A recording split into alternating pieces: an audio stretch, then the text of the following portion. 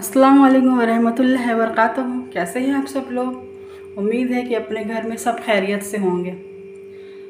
तो मैं आयशा, वेलकम करती हूँ अपने यूट्यूब चैनल पर एक और नई रेसिपी के साथ। और उस रेसिपी का नाम है मिल्क केक, जो बहुत ही इजी बहुत ही सिंपल मेथड से बनाएँगे। तो चलिए फिर शुरू करते हैं। यहाँ पर मैंने ले लिया है कढ़ैया और उसमें जाएगा दूध। तो यहाँ पर मैंने ले लिया है डेढ़ लीटर के करीब दूध, जो फुल फैट है, और इसको मैंने अभी तक उबाला नहीं था। अब मैंने चढ़ाया इसको गैस पर उबलने के लिए, और उसमें साथ ही डाल दीजिए एक कप के करीब चीनी।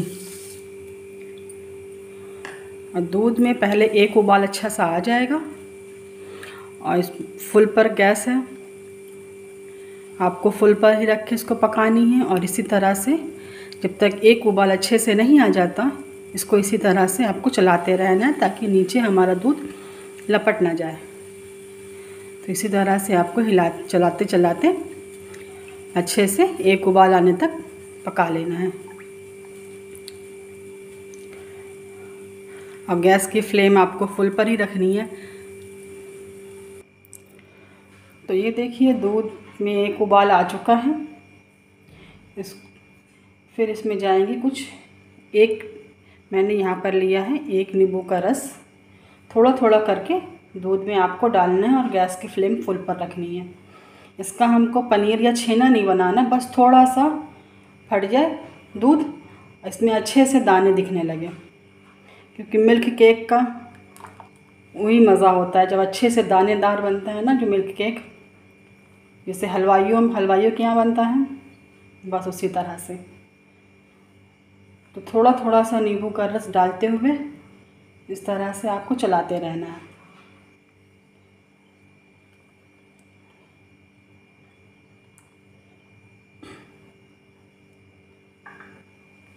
गैस की फ्लेम आपको फुल रखनी है।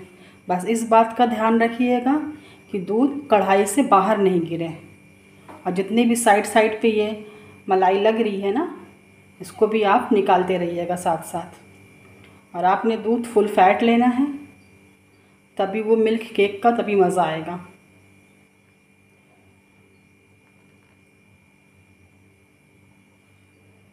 मैंने यहाँ पर अभी आधे नींबू का रस डाला है।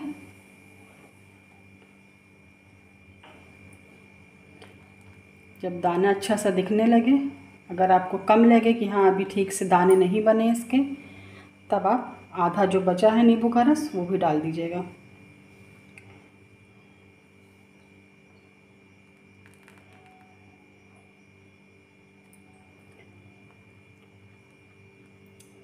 तो इसमें मैं जो आधा नींबू का रस बचा हुआ है, इसको भी डाल देंगे।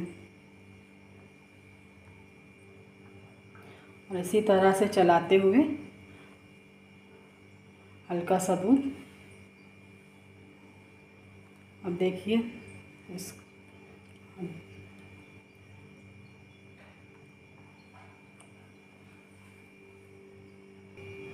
तो दूध में अच्छे से दाने नहीं बन पाए तो इसलिए मैंने यहाँ पर आधे नींबू का रस और लिया है। इसको मैं थोड़ा थोड़ा करके डालूँगी, जैसे ज़रूरत पड़ेगी, वैसे इसमें जाएगा ये नींबू का रस। अगर दो तीन ड्रॉप में ही अच्छे से दाने इसमें बन जाते हैं। अगर नहीं होता है तो फिर इसमें पूरा आधा नींबू का रस डाल देंगे। अभी मेरा इतना ये बचा हुआ है। एक नींबू डाला था, आधा नींबू मैंने और लिया। आप यहाँ पे विनेगर का भी इस्तेमाल कर सकते हैं, लेकिन विनेगर को डाइल्यूट करके डालिएगा आप पानी में। तो ये हो गया है। इसमें से। ये देखिए।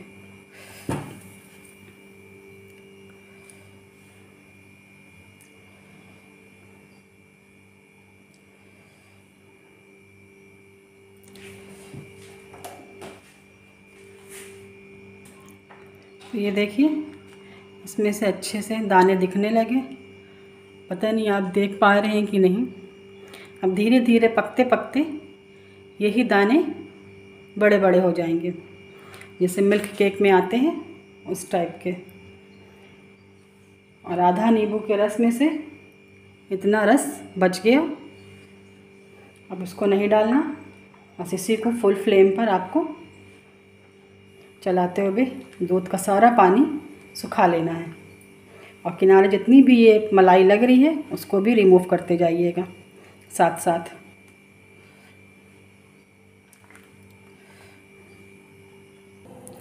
दूध का कलर भी अब चेंज होने लगा है और क्वांटिटी भी दूध की कम होने लगी है। आपको इसको चलाते ही रहना है। जितनी भी ये मलाई है, इनको सेपरेट नहीं होने दीजिएगा, बस चलाते रहिए कि दूध, मलाई आपस में मिक्स रहें। और गैस की आँच आपको फुल पर रखनी है। और पूरा इसको ऐसे ही चलते चलाते सारा पानी दूध का सुखा लेना है। तो ये देखिए, पानी हमारा आधे से ज़्यादा सूख चुका है। दूध पूरी कढ़ैया भरा था, लेकिन अब ये आधी का भी आधा रह गया है। तो अभी हमें इसको रोकना नहीं है, इसको अभी और पकाना है। अभी इसमें और पानी है। तो अब यहाँ पर आप डाल दीजिए, ये दो इलायची के दाने। आप केवड़ा वाटर भी यूज़ कर सकती हैं। मैंने यहाँ पे इलायची का इलायची के दाने डाले हैं, खुशबू के लिए। बहुत अच्छी सी खुशबू आती है ऐसे। बस, ये देखिए। बस ऐसे ही दाने चाहिए, इतने ही बड़े बड़े थोड़ा सा इसको और सुखाइए, इसका पानी, अभी इसमें बहुत पानी है। अभी ये और सूखेगा।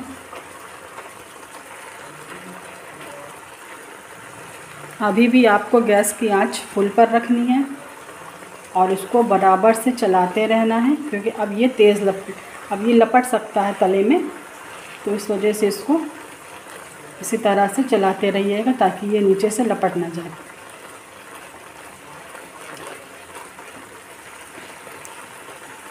अगर आपको हमारी रेसिपी ज़री से भी अच्छी लगती है तो प्लीज़ सब्सक्राइब करके जाइएगा और लाइक भी थो लाइक भी करिएगा।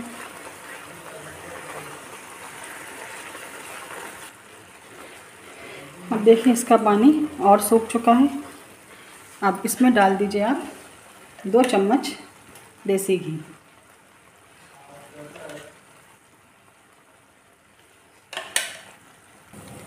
अब देखिए इसका कलर भी बहुत अच्छा सा आ गया है और इसने सारी घी भी रिलीज़ कर दी है।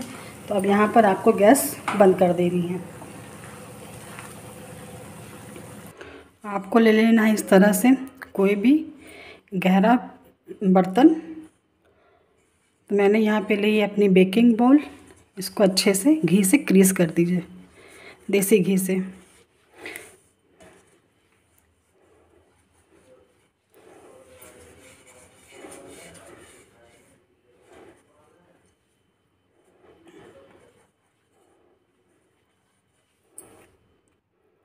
फिर आपने जितना भी ये मिल्क केक बनाया है, इसमें ट्रांसफ़र करके